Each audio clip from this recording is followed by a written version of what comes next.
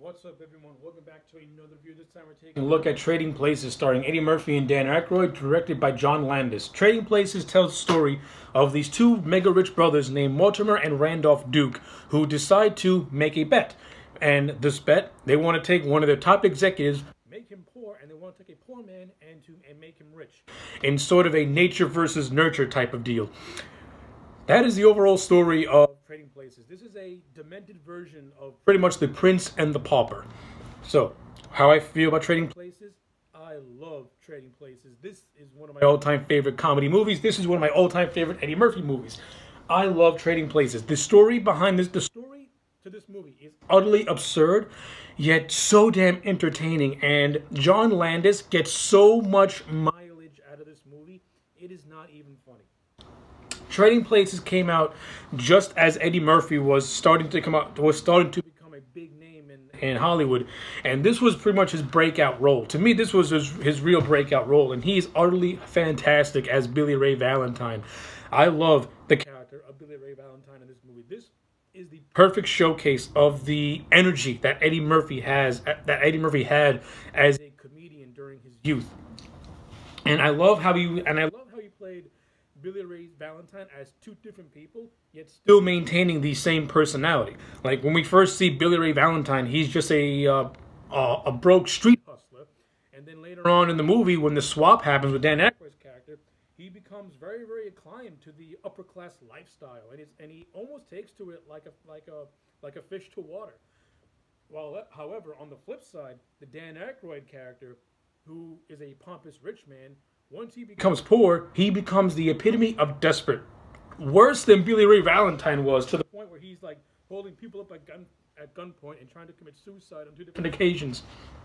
So I, I absolutely love the contrast because the whole thing about this bet was that these two old brothers named Mortimer and Randolph, they wanted to make a bet nature versus nurture. Uh, the Mortimer brother, he thought that he was going. He was he was with the character of Louis, played by Dan Aykroyd, saying that if we make Louis poor, he's going to get right back on top, while Billy Ray Valentine is going to crumble in, with with us. But I like how the reverse happened. That's where the comedy really works for me. Is that the reversal happened.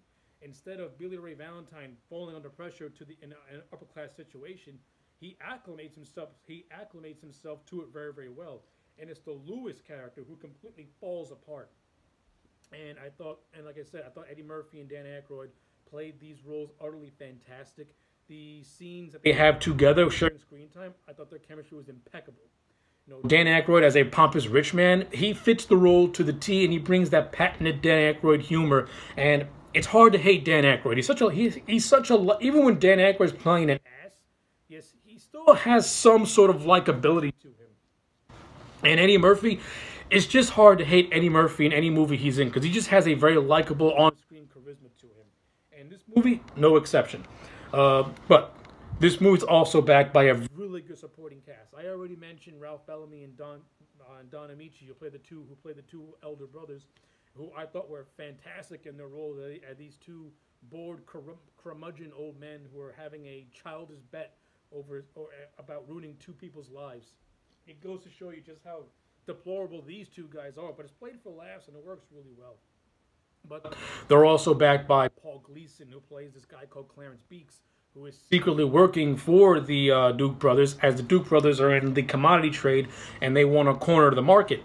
And this actually plays into the end, into the big end of the movie where you get to Wall Street, and it's actually Billy Ray Valentine and and uh, Louis that put one up on the Dukes by getting by getting sweet revenge on them by making them go broke by switching out these false crop reports. So I thought that the ending is fantastic, and, and the performance by well Bellamy and uh, Don Ameche at the end of the movie is fantastically hilarious. I love it. But yeah, I thought Paul Gleason as Clarence Beeks, I thought he was really good in the movie. I like the whole scene where he pretty much where he and the Dukes frame Louis for stealing, even though Louis didn't do a damn thing. And this is the catalyst that leads to the uh, that leads to Louis going broke and his introduction to the uh, Ophelia character played by Jamie Lee Curtis. This was Jamie Lee Curtis's uh, first big major role post her uh, horror run, and I thought Jamie Lee Curtis, Jamie Lee Curtis was an absolute fox in this movie. She was gorgeous. And the chemistry between Jamie Lee Curtis and Dan Aykroyd, very underrated. They have a really, really underrated romance throughout this movie, and I like how it's natural.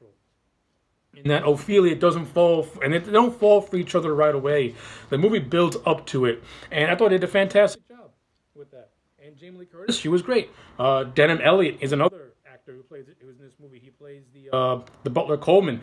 I love Denholm Elliott from the from the Indiana, from the Indiana Jones movies, and I love the dry sense of humor he gives the character of Coleman. And I also like how the Coleman character he's reluctant to be a part of this because you can see in a lot of scenes how he kind of feels bad for Billy Ray that he's being put in a position that he that he should not be in, and he also feels bad for what's happening to. Uh, to what's happening to Louis and his life being ruined to the point where Louis loses his friends, he loses his girlfriend, Louis loses everything until he get until he until he and Billy Ray work together to build themselves back up again.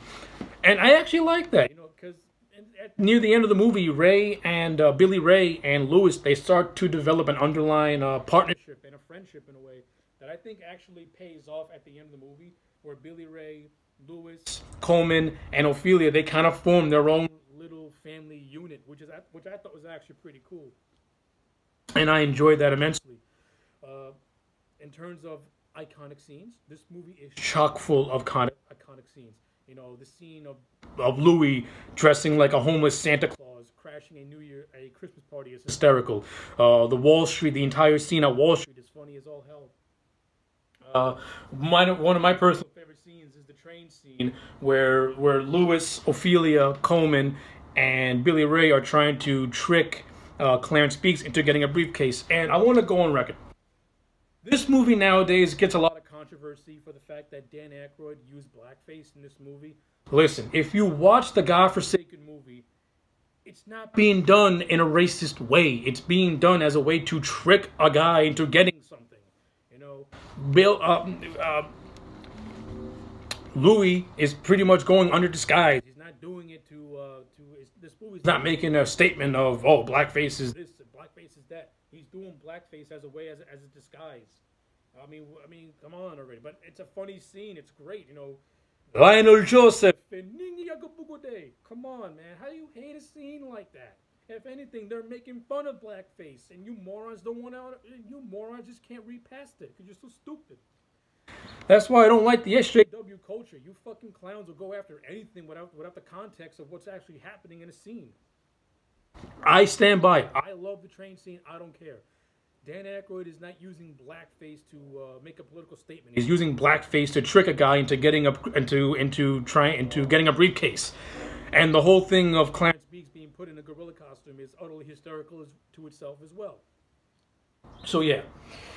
Uh, so yeah, those are pretty much my thoughts on Trading Places. There's a lot more to talk about with this movie, but those are just my overall thoughts. I don't have too many complaints about Trading Places. If I have any complaints, I'd have liked to see more of the Paul Gleason character of Clarence Beeks.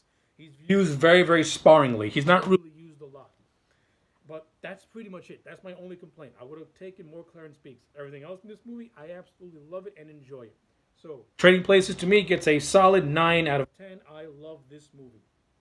Anyway, those are my thoughts on trading places. Let me know yours in the comment sections down below. Like this video and subscribe. And I will check you back next time for more.